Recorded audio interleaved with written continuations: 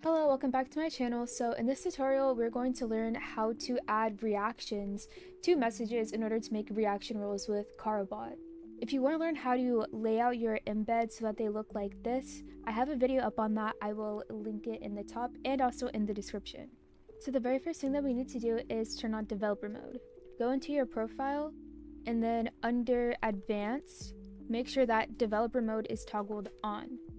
Now we actually need to get Carlbot into our server. So under my server settings, I'm gonna go to app directory and type in Carlbot. I'll also leave a link to the Carlbot site in the description.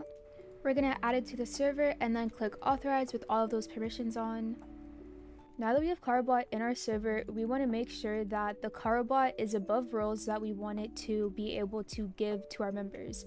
So for example, it would just need to be above these two roles, but in case I want to allow my, my members to choose colors, I'm going to place Carlbot above my color roles as well.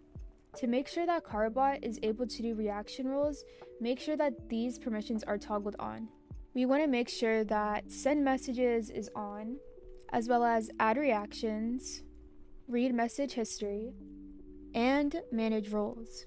There are a few different ways to do reaction roles with Carlbot, but this is just my favorite way and it all stays within Discord. So what I do is I use code exclamation point RR add and then I click on the message, right click it, or click the three dots and I click copy message ID. This is what we needed developer mode to be able to do. Then I'm going to put a space. I'm going to find the emoji that I want the reaction to be tied to. And then the role that it's associated with, which is the 18 minus role, as it is displayed here at the top. And then I'm going to click enter. And there it is.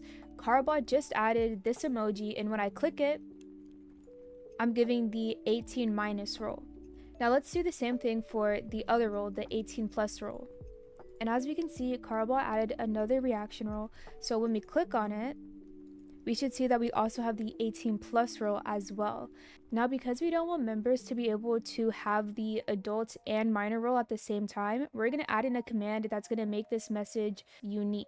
Meaning that once a member clicks on one reaction role, if they try to click on another one, it'll remove the first one that they chose.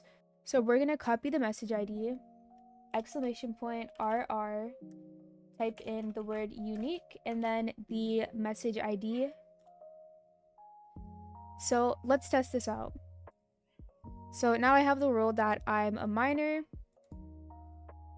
And then as we can see, as I chose the next role, it automatically removed that one. So I can only either be a minor or an adult. Setting up a verify method with Carlbot is very similar to the previous methods. I'm going to copy the message ID, type in exclamation point RR, add message ID, uh, let's just pick a random emoji here. And then I'm gonna add the role that I want my members to gain when they click this button.